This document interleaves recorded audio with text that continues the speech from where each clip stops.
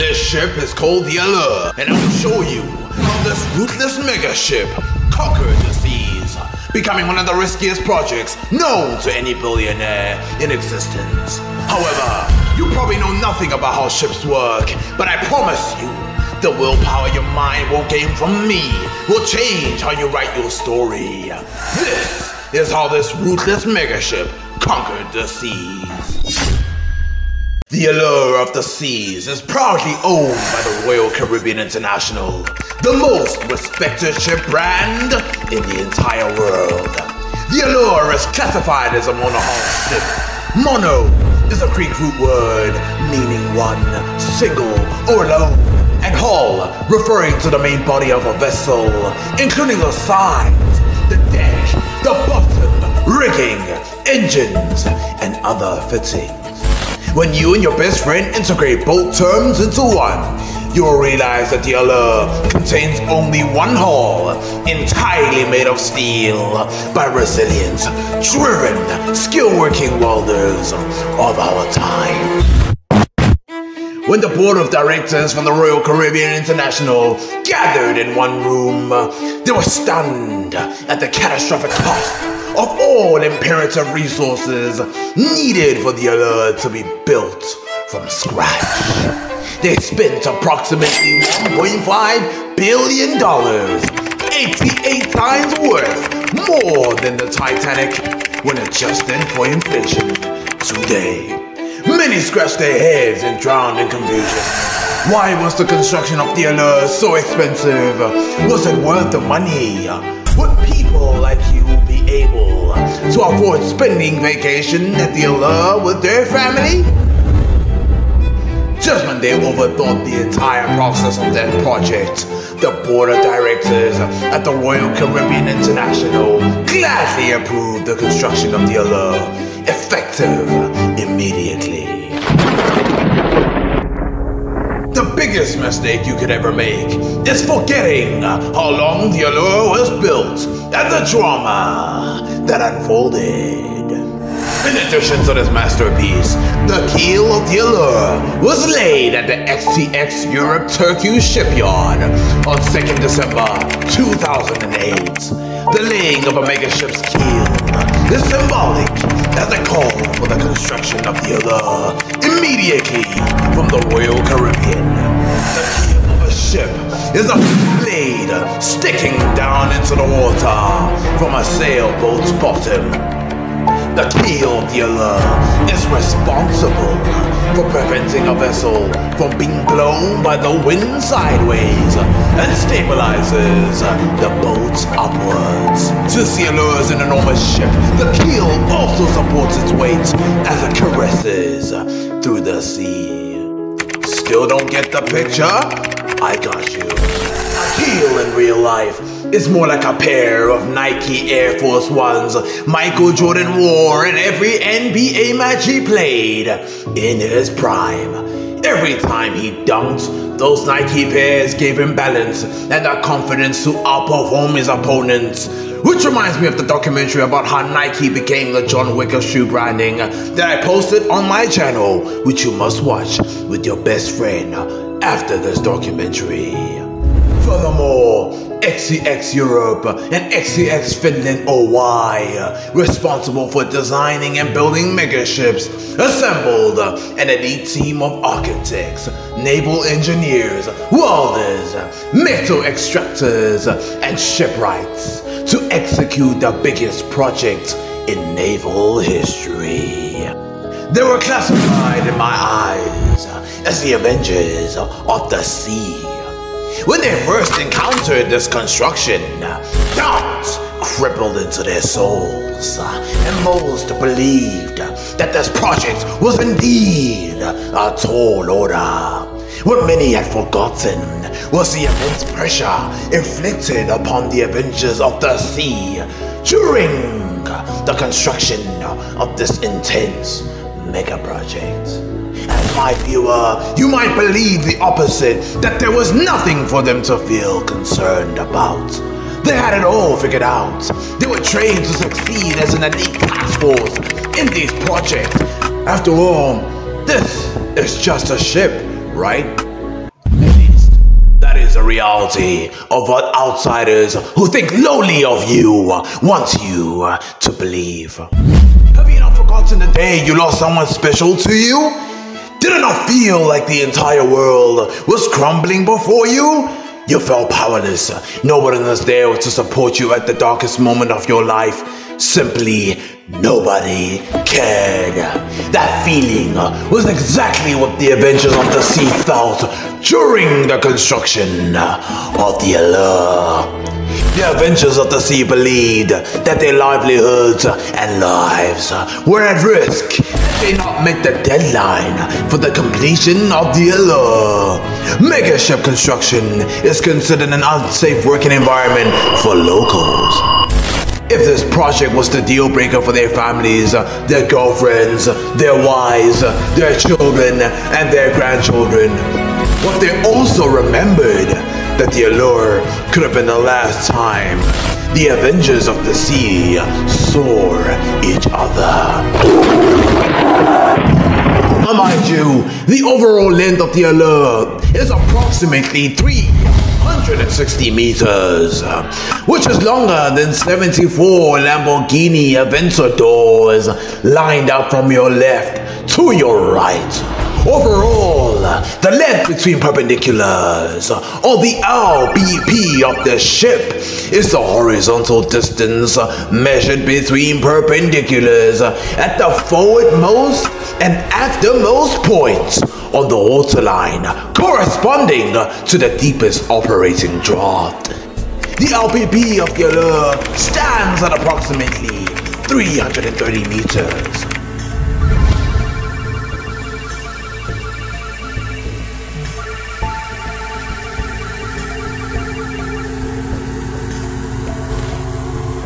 Draft is the distance between the ship's keel and the waterline of the vessel. Knowledge of the ship's draft is necessary for two major reasons. Firstly, it gives us an idea on which area of the sea the ship can safely navigate and which area she cannot due to unsafe depths. Also, the calculation of cargo and displacement is done based on the ship's draft. There are basically six visible draft marks located at the bow, center, and stern on both port and starboard side of the vessel. Draft readings are taken from these six marks. The reading is taken from the point where the waterline and draft mark coincide. As we dig deeper into this complex architecture, the draft, which is the vertical distance from the bottom of the keel to the waterline, stands at approximately 9.3 meters. The overall point of the allure is approximately 72 meters above sea level, the average height of about 17 stories of your local apartment from the ground.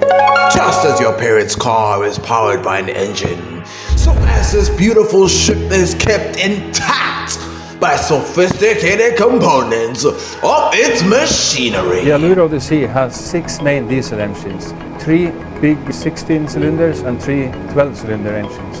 They produce 97 megawatt and uh, equals to 135,000 horsepower. Uh, with that power plant we are running the whole ship including uh, propulsion and hotel load. The Allure contains eight maneuvering thrusters. These are transversal propulsion devices integrated into the stern of the Allure to manipulate her movement sideways, even in the most restricted areas. The Titanic can learn a thing or two about that. Four of those thrusters are electric power units, and the remaining four are tunnels. Adding on, the Allure possesses seven auxiliary boilers, essential in producing steam for heating of residual fuel, liquid cargo, water for crew and passengers. This is followed by three propulsion pods located below the stern that combine the propulsive function to steer the ship in a slowing motion the main switchboard. They produce power to this main switchboard and from there we take out power to the OTC pods, the bow thruster, the AC compressors. These are high voltage consumers. From there also it goes up to the hotel, the galleys, the cabins. You can also see that we have a very redundant system. This ship can be run only with two engines. We can have four engines out and we can still run uh, the ship. And you have uh, three propellers. You can run this ship with uh, one propeller, that's no problem. It's a very, very redundant system. With this that you have these three big engines and uh, three small, that is helping us to uh, find the right percentage of load. The, these engines are made to run around 82%. That's the most fuel efficient load you have on this engine. Of the Allure is stunning as it contains approximately 2,750 exquisite guest rooms with two twin beds or queen-size beds to rest in. 176 aesthetic ocean views to unwind above 1,800 balconies. 170 magnificent, magnificent suites and 1,394 meeting rooms where you can have fun with people who you vividly share common interests with. As well as classic favorites. During the day, guests have the chance to do something truly unique in Studio B ice skating on the ocean in the Caribbean. Whether you're an experienced skater keeping your ability in check, or just trying it out for the first time, strapping on a pair of skates on a cruise ship is deserving of bragging rights. Not everybody is going to be good at it, but don't worry, you don't have to be as good as our pros. In mere minutes, Studio B converts from an ice skating rink to a fully functional venue used for a variety of other events. There's a few events I love to host, one of which happens right here in Studio B, and it's our adult scavenger hunt game we call The Quest. It's truly one of the wildest, craziest games you're going to see on the seven seas.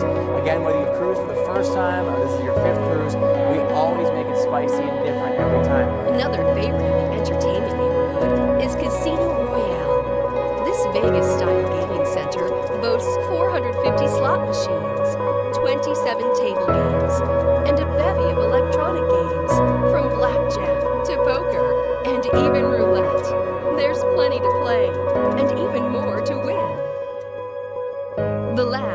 perhaps most popular attractions in the entertainment neighborhood are the familiar faces from DreamWorks Animation. Vacationers of all ages delight in interacting with some of DreamWorks' most beloved characters in a variety of shows and activities. The Youth Zone, home of the award winning Adventure Ocean program. The heart of Youth Zone is Kids Avenue, located on Deck 14. No ordinary avenue. This path guides children through Adventure Ocean's play areas. In the Youth Zone, parents can relax and enjoy the ship, all while knowing their babies are in the hands of specially trained, dedicated professionals. Of course, parents are always welcome to join in for Kids in Play, where parents can play with their children in an open, interactive environment. I am thrilled that I, the Mondli, have added immense value into your life. At first, I felt doubtful of your mental capacity to outlast all my viewers. But you proved them wrong, and you gained my respect. Not only did you gain value about the allure and how ships work, but you have profound knowledge and power to exchange creative ideas with people. If you want others like you to tap into the source of your potential, I recommend you to su- I recommend you and them to click the notification bell and subscribe immediately. Until then, everyone, I am the Mondli, and this is good.